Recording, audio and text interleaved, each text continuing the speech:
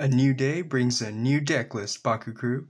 I'm BakuBrad96, and this time I'm back at it with the Pyrus Darkus factions, but not only am I going for a Baku Gear strategy again, but I am using new cores and new Bakugan that haven't been featured so much on the channel, which I hope brings everyone a new refreshing outlook on things. You know, definitely want to keep things fresh and new. So that's why I'm back at it, but with different Bakugan. So, you know, let's go ahead and jump right into it. There's not much else to say. Um, I only have a limited card pool, but I am keeping things as different as possible. So here is some awesome new Bakugan. Um, obviously using Darkus Viloch from my uh, Combiner set. This is actually the first deck I've actually built around Viloch.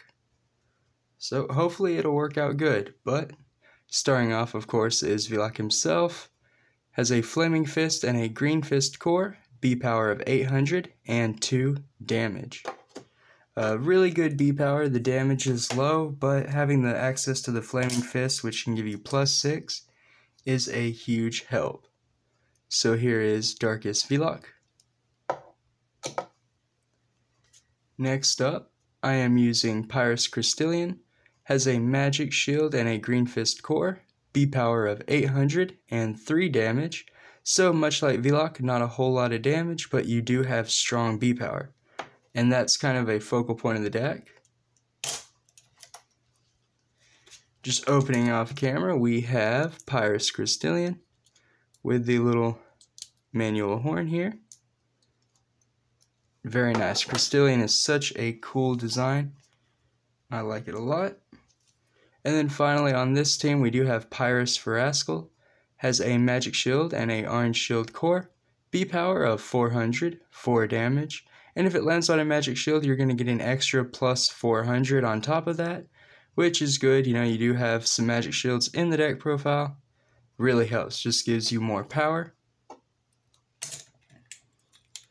There's of course our little kitten core, yeah, kitten core. Before we get into the Geogan and the deck list, let's go ahead and take a look at the Baku cores I'm using. So because it is a Baku gear strategy, you want uh, the cores that lower the energy cost. So for the two Magic Shield slots, I am using the plus 500 B power and minus 1 energy to your Baku gear, which does come in handy. You know, it makes 2 cost uh, 1, 3 cost 2, so on and so forth. The two green fist slots I am using are the plus 3 damage and then Bakugear cost minus 1 energy. Um, again, same reason, but the plus 3 is also nice.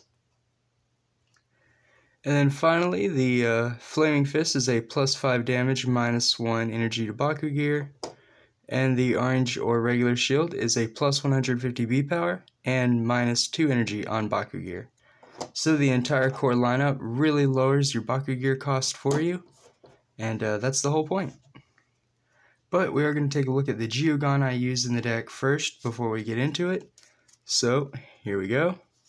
Starting things off with uh, at least everyone's favorite, iconic wise anyway, we have Arcleon, 1 energy for a B power of 900 and 2 damage with double strike. Probably in actuality everyone's favorite is Hyenix, but as far as you know the mascot Dragonoid, this is the Geogan for him. Still not bad though. I know everyone likes Hyenix's B power, but Arcleon's really good too, you know, just one energy cost. Super effective on Geogan. Speaking of Hyenix, I do run it. I mean, why wouldn't I? It's only a 1 energy cost Geogan for a B power of 1300 and 4 damage, built in Shadow Strike as well. So, obviously, it's an auto include. Here is Hyenix, I won't worry about folding out the arms, but his arms do extend quite a bit.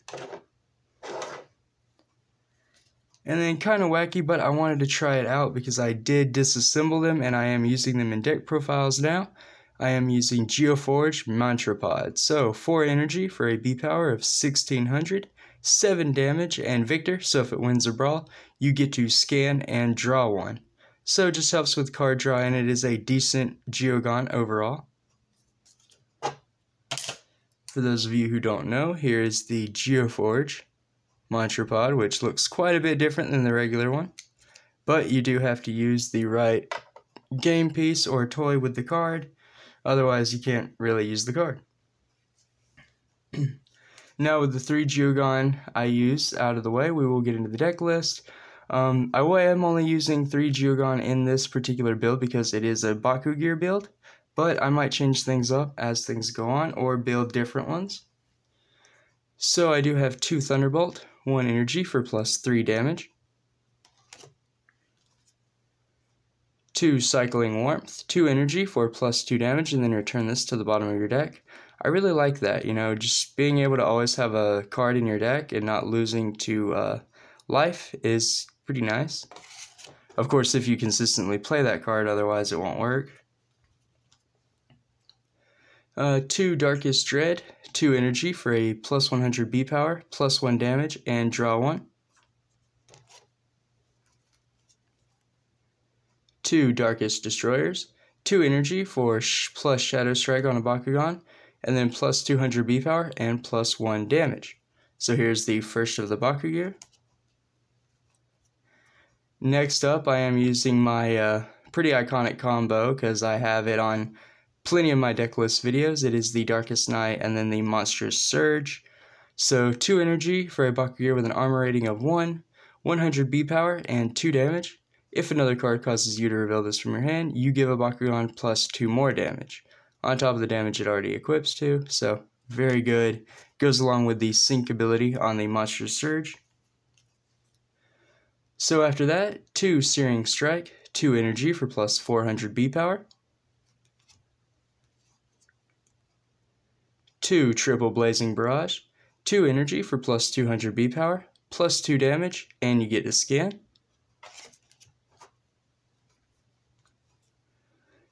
Then another favorite of mine, Burn Cutter, 3 energy for a Bakugear with an armor rating of 1, 100 B power, and plus 5 damage to the Bakugan. Very huge amount of damage. Really like using that card. Then Trailing Dragon, 3 energy for plus 200 B power, plus 4 damage, and if you energize this from your hand, you can pay 2 energy to draw 1. Volatile Instincts, 3 energy for plus 6 damage, and it also has the if you energize this from your hand, you can pay 2 to draw a card effect. Here's the previously mentioned Monstrous Surge. 4 energy for plus 800 B power, and then Sync. You can reveal a card in your hand that costs 2 energy for plus 4 damage. So it does stack up with the Darkest Night. You can all see the whole point, and that's why I throw this into any Bakugear strategy I can with Darkus. Next up is Pyrus Overload. 4 energy for plus 500 B power, and then remove all Baku cores attached to a Bakugan and place them onto the field. A very powerful card in my opinion. I really like that one too. Um, even though we are not using any rapid fire cards, I do have Lava Blade because it is a good Baku Gear card in my opinion. 5 energy for an armor rating of 2, and then it gives 200 B power and 4 damage to your Bakugan. So it does eat up a good bit of damage if it gets flipped from the top.